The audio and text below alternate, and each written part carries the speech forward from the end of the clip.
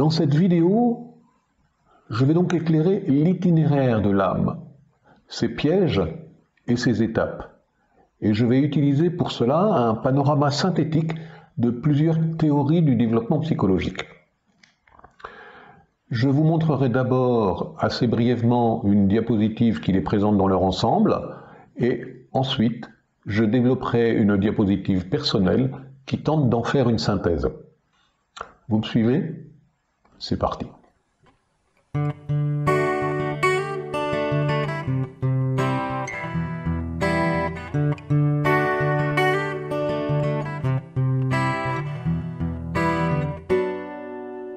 Comme je vous l'ai annoncé dans l'introduction, voici maintenant une diapositive qui représente les théories de la psychologie du développement dont je me suis inspiré pour proposer la synthèse qui va la suivre. Alors vous remarquez la présence de plusieurs échelles dont les termes sont totalement différents. Ceci s'explique parce que les différents auteurs euh, qui ont créé ces échelles se sont basés sur des critères tout à fait différents. Vous voyez par exemple Piaget hein, sur euh, l'échelle qui est à la gauche de la diapositive, mais lui s'est basé sur les étapes du développement cognitif.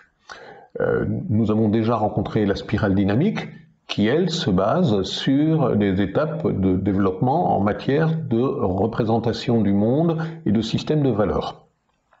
Il y a évidemment quelques autres échelles, je vous laisse jeter un petit coup d'œil et nous allons ensuite arriver à la diapositive qui tente d'en faire une synthèse avec une représentation qui permet de euh, les juxtaposer, de les superposer de façon peut-être un petit peu plus visuelle et un peu plus cohérente. Alors, comme fil conducteur de cette diapositive, vous voyez donc cette flèche qui va de gauche à droite, qui reprend le code couleur de la spirale dynamique tel que nous l'avons déjà abordé dans d'autres vidéos. Nous allons donc maintenant superposer à ce code couleur-là d'autres termes empruntés donc à d'autres échelles de développement. Et commencer par des termes empruntés à Robert Kegan, euh, qui lui distingue euh, le développement de l'individu selon différents stades qu'il nomme préconventionnel, conventionnel et post-conventionnel. Donc le stade préconventionnel, euh, ben, évidemment, son nom l'indique, c'est là où l'individu n'a pas encore intégré les normes de sa famille, de la société. Le stade conventionnel, eh bien, l'individu respecte, a compris, a intégré les conventions familiales et sociales. Et post-conventionnel, évidemment, eh il est sorti de ces conventions. Et c'est là que nous allons voir une possibilité de confusion entre euh, ceux qui sont pré et ceux qui sont post. D'où le terme erreur pré-post que nous allons développer un peu plus tard. Dans le stade préconventionnel, l'individu est encore euh, soumis à ses automatismes, il est piloté par ses automatismes. Donc on va voir euh, donc, trois couleurs de la spirale dynamique. Ici, un vocabulaire emprunté donc à d'autres classifications. La couleur beige va indiquer un mode instinctif, donc ici le mot impulsif, hein, on fonctionne en fonction de ses instincts, de, survie principalement. La couleur violette, je l'ai nommée spéculative. Pourquoi? Parce qu'en fait, l'individu, à cet endroit-là, spécule sur les explications du monde. Il n'y a pas d'explication rationnelle, parce qu'il n'a pas encore accès à la connaissance scientifique, à la pensée rationnelle. Donc, euh, il s'invente des explications, un sens, une vision du monde euh, en fonction de ses illusions, de ses fantasmes, de ses représentations. C'est ici, par exemple, qu'on pourrait situer un certain nombre de personnes qu'on nomme complotistes, mais qui ne font pas d'efforts d'information rationnelle, de trier les fake news complètement invraisemblables par rapport aux informations solidement étayées, sérieuses, euh, amenées par des personnes euh, qui sont euh, tout à fait intéressantes dans leur façon de réfléchir. Donc là, vous voyez apparaître hein, une première possibilité de fracture euh, et de distinction entre des stades euh, dont vous allez repérer qu'ils sont complètement différents. Le mot opportuniste correspond à la couleur rouge de la spirale dynamique, donc à ce moment-là, l'individu est poussé par euh, son désir de conquête, son désir d'expansion, ses pulsions donc de, possession. Donc là, on va trouver évidemment toutes les personnes qui sont avides de pouvoir, avides de, richesse, quel que soit le prix à payer pour pouvoir marcher sur le dos des autres et pour pouvoir faire le plus de profit possible. Donc, cette étape-là, c'est le stade préconventionnel, euh, est fortement marqué d'égotisme. L'égotisme, euh, évidemment, il y a de l'égoïsme et de l'égocentrisme à l'intérieur, mais ça signifie que l'individu a ses frontières personnelles fermées par rapport aux réalités de l'autre. C'est-à-dire qu'il mène son existence exclusivement en fonction de ses instincts, de ses représentations, fantasmatiques éventuellement, euh, et de ses désirs pulsionnels. Donc là, euh, l'individu ne se préoccupe absolument pas de l'autre, si ce n'est pour euh, lui imposer, lui appliquer euh, ses propres désirs, ses propres pulsions. Mais bon, les individus avancent sont censés avancer, hein, tous ne le font pas, et euh, leur éducation, par leur famille, par leur milieu social, va petit à petit programmer le moi, euh, va formater le moi de manière à ce que euh, la personne respecte les normes sociales. Alors ça va passer par des règles, des lois, des dogmes moraux, des dogmes religieux, etc. Et donc euh, à ce moment-là, l'individu va rentrer dans une étape conformiste où il apprend donc à se conformer aux règles de son milieu familial ou social. Là, le mot expert apparaît, donc euh, il correspond donc à la couleur bleue, mais aussi un peu la couleur orange de la spirale dynamique. Euh, donc c'est ce moment où l'individu va devenir euh, capable d'une expertise euh, en matière de structuration, de, respect des règles. Donc certains vont connaître les règles administratives, d'autres les règles religieuses. Voilà. Donc on a affaire à des gens qui fonctionnent dans un cadre, euh, qui deviennent experts intérieurement, consciemment ou inconsciemment, de ce cadre-là. Et évidemment, euh, ce conformisme est ce qui est attendu par les éducateurs ou par les gouvernants, évidemment. Sauf que petit à petit, l'individu grandit psychologiquement et socialement et euh, va pouvoir remettre en cause, va pouvoir interroger un certain nombre des normes, un certain nombre des dogmes qui lui sont proposés ou imposés. Et donc, euh, le moi va devenir de plus en plus adulte et être capable de se différencier, de se séparer des éléments avec lesquels il n'est plus complètement en accord. Et là, on arrive donc dans un stade où euh, l'identité va se créer, une identité euh, euh, plus séparée donc de la norme sociale, et on va parler d'individualisme. Cet individualisme-là, donc, vous voyez apparaître le mot performeur. ce mot performeur, je l'ai choisi à la place du mot achiever, qui est le mot employé dans la classification anglaise. achiever signifie le finisseur donc celui qui termine une compétition sportive, un marathon par exemple. Euh, mais bon, la traduction finisseur ne me paraissait pas tout à fait correspondre à, l'idée que je voulais émettre. Donc le performeur, euh, c'est celui qui est en recherche de performance, donc en matière de croissance économique, de rentabilité économique, de connaissances scientifiques. Donc on est là tourné vers euh, la réussite, vers euh, la meilleure performance possible. D'où le côté un peu compétitif ou envie de maîtriser euh, le, mieux possible les choses. L'individualisme est encore aujourd'hui dans le stade conventionnel. Pourquoi? C'est-à-dire que nous sommes dans une époque, euh, depuis le siècle des Lumières, depuis le développement de l'industrialisation, donc en gros, hein, depuis deux siècles, il y a un, mélange d'individualisme et de conformisme dans les conventions sociales. Dans nos sociétés occidentales, il est de bon ton d'être performant, hein, d'être euh, d'accord avec le concept de croissance économique, de rentabilité. C'est d'ailleurs, euh, ce sont d'ailleurs ces concepts-là qui mènent le monde aujourd'hui. Hein. C'est également la volonté de ceux qui envisagent un nouvel ordre mondial. Sachant que cela demande aux individus de se conformer euh, à leurs règles, à, leur organisation sociale. Donc là, euh, aujourd'hui, il y a un mélange dans le conventionnel euh, d'un individualisme, celui des puissants, d'ailleurs on peut se demander s'il n'est pas plutôt du côté égotiste que du côté conventionnel, je vous laisse réfléchir là-dessus. Euh, donc, ce mélange d'individualisme et de conformisme. Comme si être individualiste aujourd'hui était être conformiste, d'une certaine façon.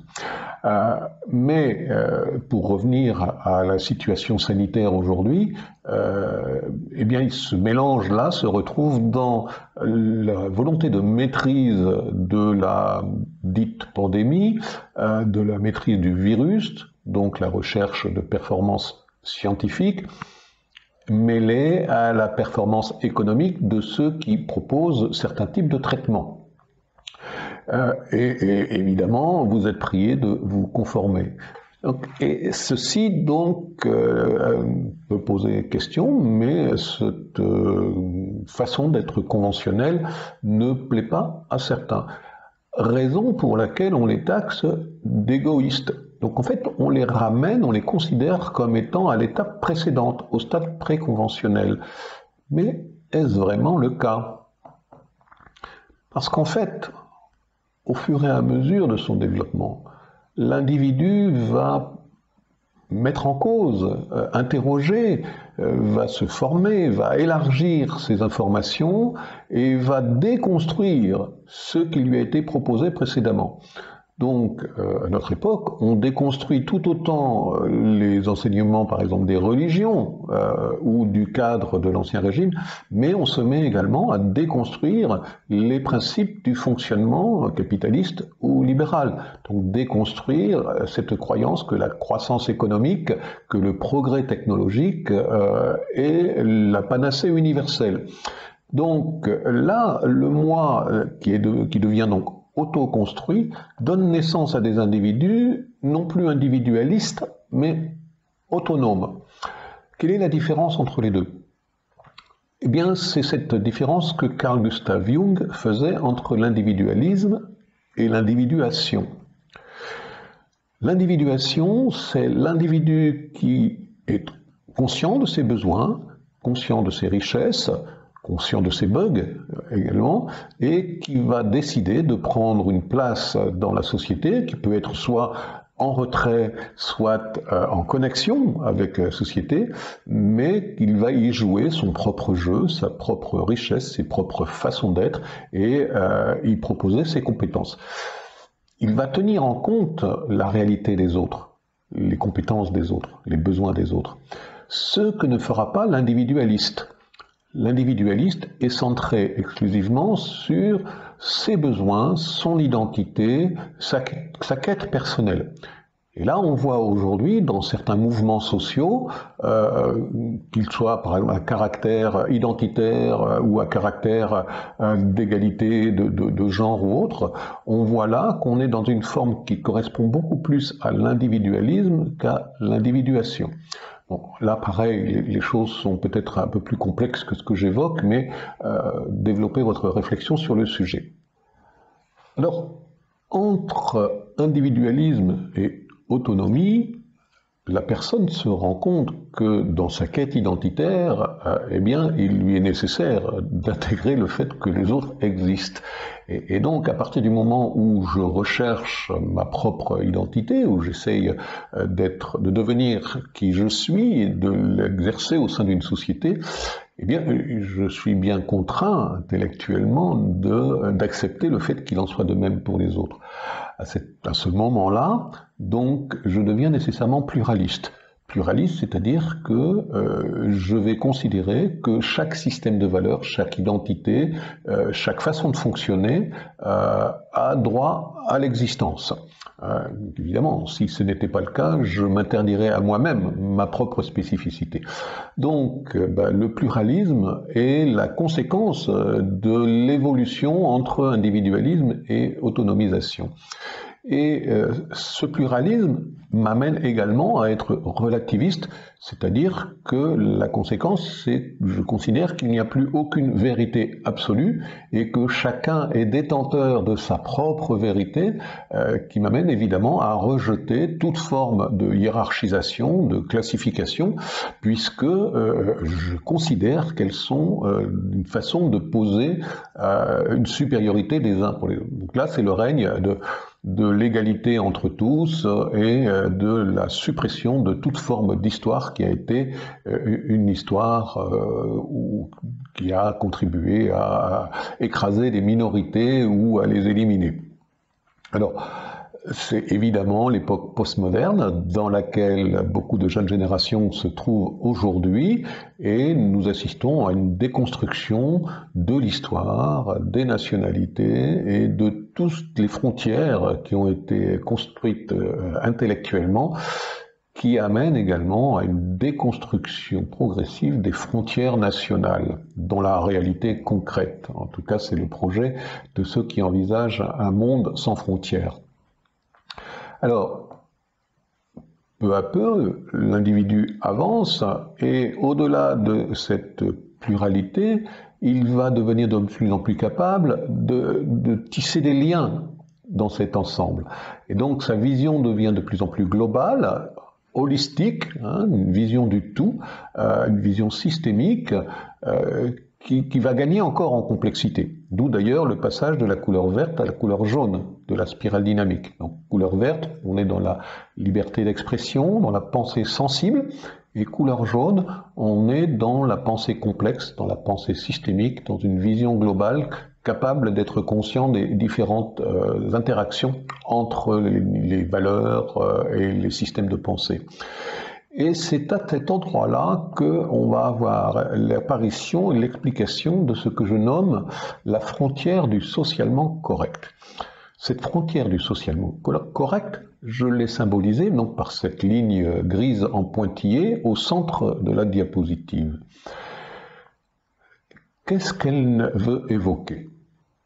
Qu'en fait, la majorité des populations des sociétés occidentales sont encore dans le stade conventionnel, c'est-à-dire soit en mode conformiste, soit en mode individualiste, mais individualiste dans les règles sociales, donc de la performance économique, de la performance scientifique, etc. Donc les couleurs bleues et orange. Donc ça, euh, c'est le stade conventionnel dans nos sociétés aujourd'hui. Ceux qui ont dépassé ce stade-là, donc ceux qui remettent en cause les règles du fonctionnement libéral capitaliste, qui remettent en cause les dogmes religieux anciens, sont au-delà de cette frontière. Alors, cette frontière va se déplacer parce que quand cette partie-là de la population deviendra majoritaire, ce qui risque d'arriver, eh bien, évidemment, le socialement correct va évoluer euh, avec eux. Mais euh, aujourd'hui, euh, ceux qui sont dans cette vision des choses, dans cette vision égalitaire, sont encore des minorités militantes, agissantes, pour certains d'entre eux, donc euh, de plus en plus visibles, mais restent malgré tout minoritaires. Et c'est ici qu'il va y avoir une confusion, une fracture dans la compréhension des positions de chacun par rapport aux stratégies sanitaires. Et c'est ici que l'on trouve ce que Ken Wilber a nommé l'erreur pré-trans ou pré-post.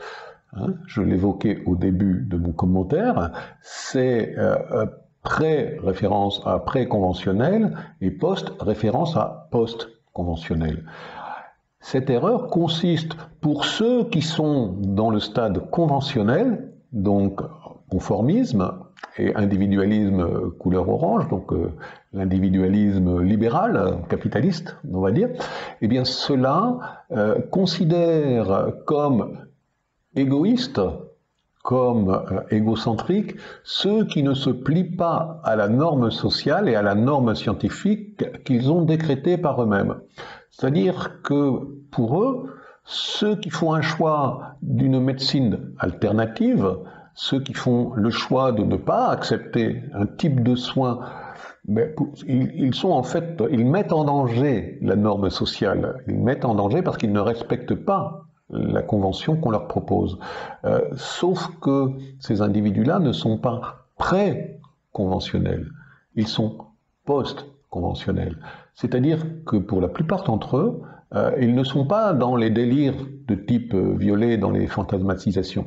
Certes, il y en a, mais beaucoup d'entre eux se sont informés, se sont documentés, sont allés faire des recherches dans des domaines scientifiques euh, qui ne sont pas forcément académiques, mais qui sont solidement étayés. Et donc on a de plus en plus de médecins, de scientifiques, de physiciens, de biologistes qui ont une vision tout à fait post-conventionnelle et qui ne s'accordent pas à la vision d'autres médecins. D'où les oppositions hein, euh, entre les scientifiques, entre ceux qui sont d'un côté ou de l'autre de cette frontière. Comme nos gouvernants ont évidemment intérêt à ce que les populations se conforment à leurs règles, évidemment, la stratégie de communication est de les considérer comme pré-conventionnels, donc égoïstes égotiste. Euh, donc vous voyez, cette erreur pré-trans, euh, c'est l'erreur dans laquelle, volontairement ou involontairement, euh, nos gouvernants, et suivis par les médias, veulent faire tomber tous ceux qui se trouvent dans le stade conventionnel. Ici, il nous faut encore avancer puisque l'évolution de l'individu ne s'arrête pas là. Il y a en effet un stade ultérieur au stade post-conventionnel, stade qui été envisagé donc par les tenants de l'approche intégrale, qui sont d'ailleurs Robert Kagan, Kel Wilber et d'autres. Ce stade intégral correspond donc aux couleurs jaune, euh, turquoise et corail de la spirale dynamique, et ce stade intégral euh, correspond également à l'apparition progressive euh, du soi supérieur, c'est-à-dire de ce que je nommais l'essence, hein, euh, c'est-à-dire cette partie de nous euh, qui appartient à, un au-delà de nous. Hein. C'est à la fois notre personnalité, notre je suis profond intérieur, et à la fois ce que les ésotéristes ou les spiritualistes considèrent comme étant la partie éternelle de notre âme. Et donc là, euh, on passe euh, d'un moi, d'un ego qui a été auto-construit, à un pilotage par cette essence, par cette profondeur, par mon je suis intérieur. Et euh, vous avez vu apparaître le mot éveil, donc là on inclut la dimension spirituelle dans le développement de l'individu. Alors, le mot stratège qui correspond à la couleur jaune de la spirale dynamique, pourquoi stratège? C'est-à-dire que ma vision globale, complexe, euh, m'a permis d'intégrer les différentes réalités et je tente de les équilibrer, de les harmoniser. Ceci suppose nécessairement une vision stratégique euh, pour pouvoir trouver cette harmonie, cet équilibre, qui est évidemment très compliqué puisque j'ai affaire à des situations complexes que ce soit à l'intérieur de moi ou dans le monde auquel je suis confronté. Euh, le mot alchimiste concerne euh, la couleur turquoise de la spirale dynamique, il apparaît en dessous du mot éveil. En fait, celui qui est l'alchimiste de sa propre vie euh, est quelqu'un qui a franchi les différentes œuvres, les différentes étapes du processus alchimique. L'œuvre noire, c'est-à-dire la traversée des ombres, l'œuvre blanc, la purification, et l'œuvre rouge, qui est l'accès à la pierre philosophale, donc la, lumière intérieure, qui est donc le, soi intérieur, le, Graal, pourrait-on dire. D'ailleurs, je vais prochainement vous faire une vidéo sur ma conception du Graal et la découverte que j'en ai faite. Mais c'est pas plus tard. Et euh, ceci amène évidemment à distinguer une autre frontière cette autre frontière, je la nomme la frontière du soi supérieur. Et euh, cette autre frontière, elle est fondamentale puisque euh, il va falloir un niveau de conscience tout à fait différent pour pouvoir la franchir. Donc c'est ici que euh, l'ego va se trouver confronté à une énorme difficulté, c'est qu'il va devoir accepter de laisser la place à plus fort que lui, plus profond que lui, au soi supérieur. Et c'est donc la, symbolique de la crucifixion, de la mort de l'ego, de la résurrection, c'est le passage de l'autre côté de cette frontière du soi supérieur.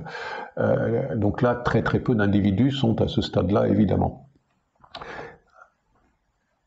ça nous amène à une seconde erreur pré-post possible. La zone entre les deux frontières, que je viens de matérialiser par euh, un rectangle de couleur verte, en fait, euh, Ken Wilber l'appelait le flatland, ou le pays plat. Euh, c'est une espèce de no man's land euh, entre deux frontières.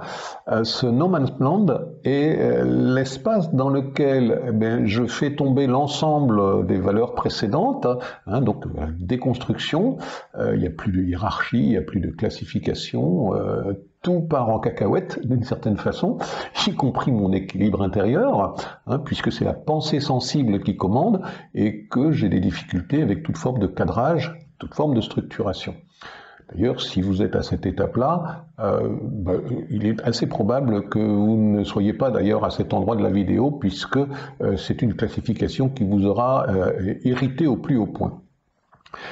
Donc l'erreur pré-poste que je positionne à cet endroit-là, c'est l'erreur de ceux qui se croient arriver de l'autre côté de la frontière du soi supérieur, donc en jaune ou en turquoise, donc ils se croient éveillés, hein, parce qu'ils ont eu quelques expériences illuminatives, des expériences de type mystique, euh, des connexions avec le, grand tout, euh, sauf que ces expériences-là ne signifient absolument pas que euh, l'essence a pris le pilotage de notre personnalité. Euh, toute personne qui est en cheminement spirituel, en cheminement euh, psychospirituel, a à un moment ou à un autre des expériences de ce type.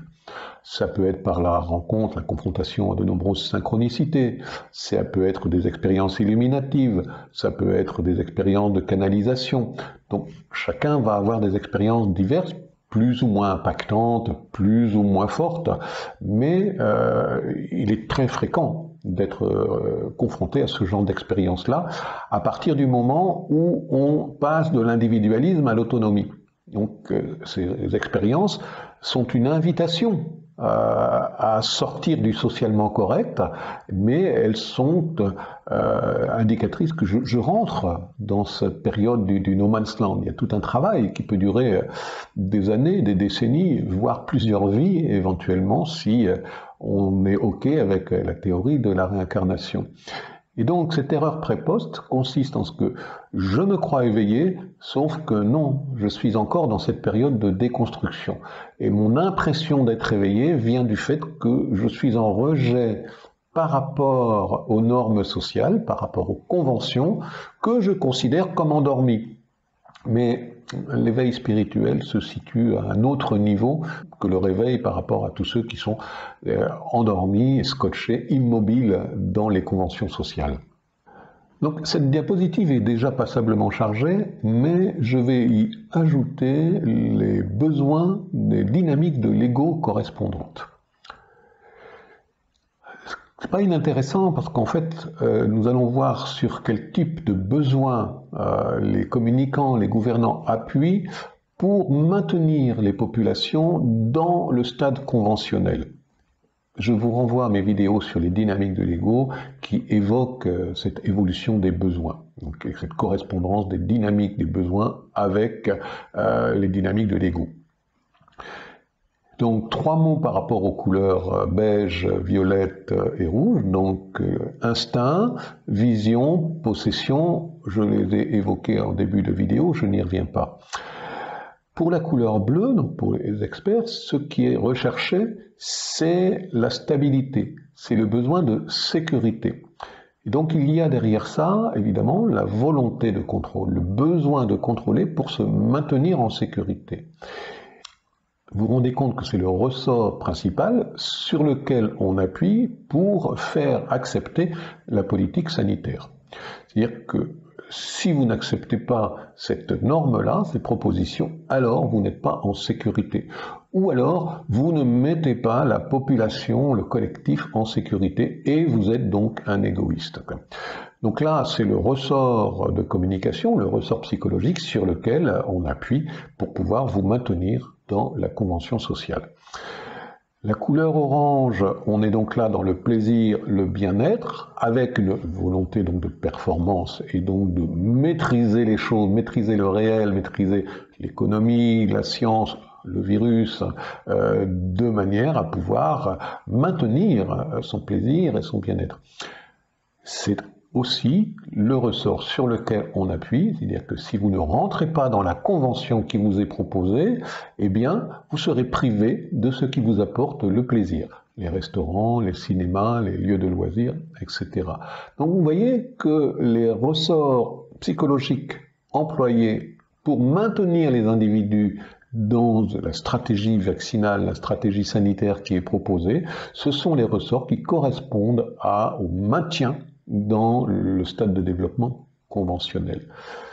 Tous ceux qui sont mus, qui sont motivés par des besoins d'une liberté d'expression, par une identité, par euh, leur propre identité, leur propre choix, euh, et qui vont donc rechercher à opposer, euh, à résister par des formes de militantisme, par des formes de, de partage d'informations différentes, évidemment, sont considérés comme complotistes, fantasmatiques, donc euh, on les place en mode préconventionnel, ou alors euh, sont euh, décrédibilisés, sont rejetés. Évidemment, le problème, c'est que la plupart de ces personnes-là ont dépassé le stade du besoin de sécurité, ont dépassé ou remettent en cause le stade du plaisir et du bien-être purement matérialiste, et donc ils deviennent assez hermétiques aux stratégies de communication qui visent à les maintenir dans le stade où ils ne sont déjà plus. De l'autre côté de la frontière du soi supérieur, on va trouver les besoins d'élévation et de réalisation de soi, voire même du soi supérieur. Donc là, on est dans le cheminement spirituel, je ne développe pas.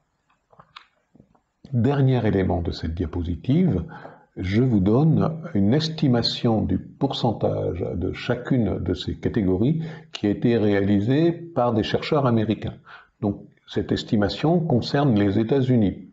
Donc, on considère qu'aux États-Unis, qui est sensiblement probablement le cas dans la plupart des pays occidentaux, il y aurait environ 10% d'individus qui sont dans un mode de développement pré-conventionnel, donc au stade beige, violet, rouge, il y aurait 75% de la population donc dans le stade conventionnel, donc bleu ou orange, et seulement 15% au-delà, donc 12% euh, entre vert et jaune. Ce qui amène évidemment un certain nombre euh, de réflexions par rapport à majorité-minorité. C'est-à-dire qu'une immense majorité des populations dans les pays occidentaux sont dans ce stade conventionnel. Et c'est là-dessus, évidemment, que les gouvernements comptent, Sauf que si l'on se réfère à, ces théories-là, euh, ces minorités sont appelées progressivement à se développer.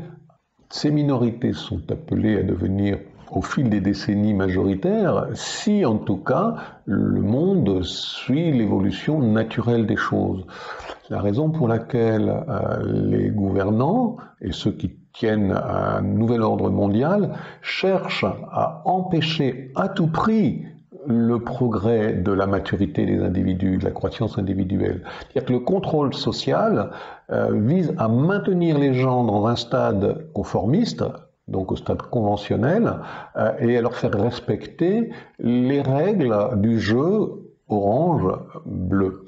Et ces règles du jeu sont en fait posées par des gens qui sont extérieurement euh, orange, donc scientifique, performance économique, mais intérieurement parfaitement rouge. C'est-à-dire que ce qui est visé, c'est la domination sur le monde et sur les individus, euh, quitte à employer des formes coercitives, voire violentes pour, arriver à leur fin.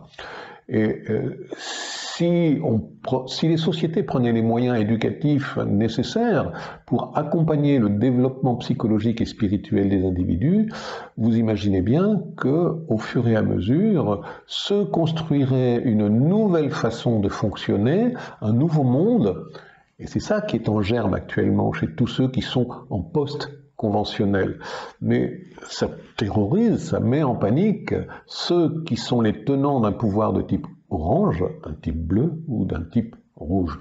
Donc, euh, évidemment, les choses sont extrêmement complexes, mais vous comprenez bien que euh, tout ce qui est fait aujourd'hui pour vous faire respecter les normes sociales, et c'est fait depuis un certain nombre de décennies, ben, commencer par la multiplication des règles, la multiplication des normes euh, en matière administrative, en matière de sécurité routière, puis maintenant en matière sanitaire, voilà, tout ceci vise simplement à laisser les individus dans le stade conventionnel et à éviter leur prise de conscience individuelle, leur autonomisation et évidemment euh, les, toute forme de recherche d'information qui ne va pas dans ce sens est décrédibilisée. Voilà, j'ai été très long, la diapositive est chargée, euh, néanmoins je pense que cette vision d'ensemble peut euh, vous enrichir et vous permettre de mieux situer où même où vous-même vous vous situez et d'avoir une meilleure compréhension de tout ce qui est en train de se jouer euh, en arrière-plan de la situation actuelle. Je vous souhaite une excellente méditation sur cette vidéo et je vous dis à bientôt dans d'autres vidéos.